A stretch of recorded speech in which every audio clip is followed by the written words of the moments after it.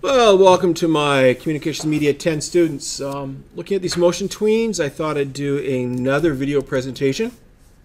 Give you some more tricks and tips on how to do motion tweens. Um, so, and I'll get this up on the YouTube channel.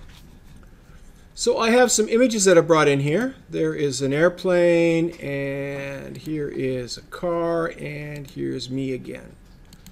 So I'm going to work with this car and I'm going to have this car scream across the screen. So I'm going to click it, I'm going to drag it, put it on the screen.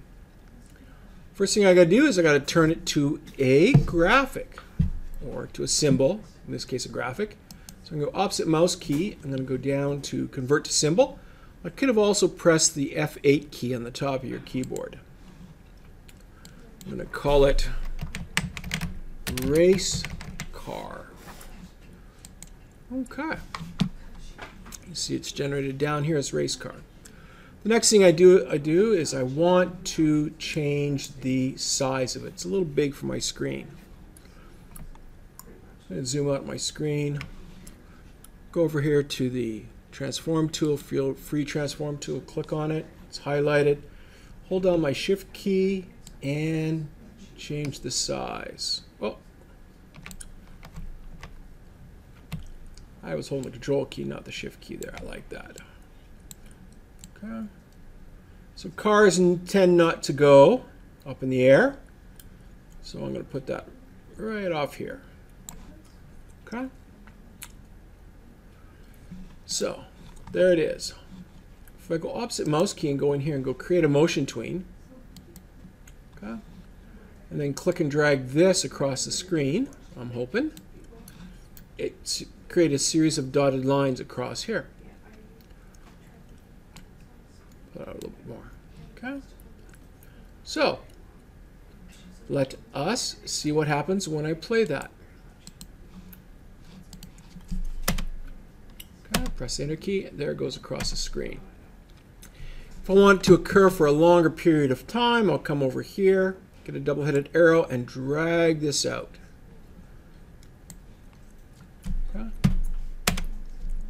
Oh, that's a little bit better. Okay.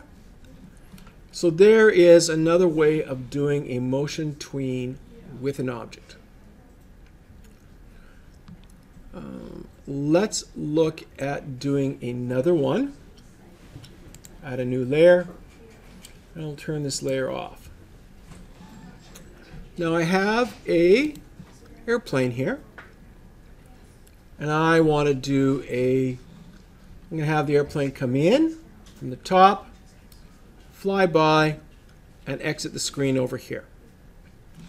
So I'm going to click on this frame here, bring my plane up to here. It's not a bad size, but I think I want to make it a little bit smaller. Okay. So there he is. Here's my airplane. Cross the screen and out the bottom here. So he's going to come down and curve out. Okay. So I'm going to click on here, go create a motion tween. I did it again, didn't I? I didn't convert it to a symbol. So opposite mouse key, convert to symbol or F8, call it plane. Okay, generates it over here. Now I go opposite mouse key, create a motion tween, And then I take this and put it over here. And it didn't work. Control Z. I'll come out here because this is my second layer. Opposite mouse key. I will move, try and put in a keyframe. I'll put all in here. Then I'll take this and I'll put it over here. And then I have my tween. So now let's see how it looks. Okay. Not bad. What I'm going to do now is I'm going to use my conversion tool, my free transform, make him big. So it looks like he's coming in from beyond the horizon. Okay, coming towards us. Now what I want to do is I want to change his trajectory. So it comes down and then flies out. To do that, I'm going to choose my selection tool. There's a sub-selection and the selection tool. If one doesn't work for this, try the other. So I come in here and I go where these dots are and I get a square dot. So I don't want a square dot. I want a quarter of a circle. So I'm going to try the other selection tool. And see how I got that quarter of a circle there? Let's grab this point right here. Whoops. Click, hold.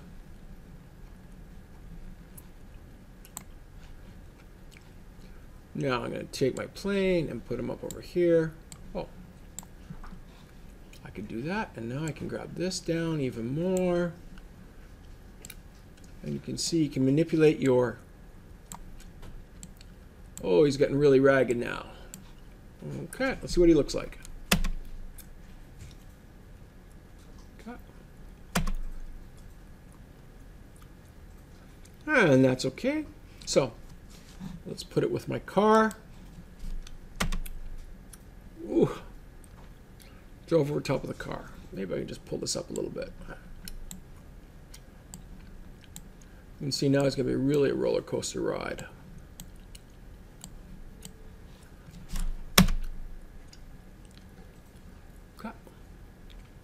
So those are two more tools that you can use for generating motion tweens inside your lab.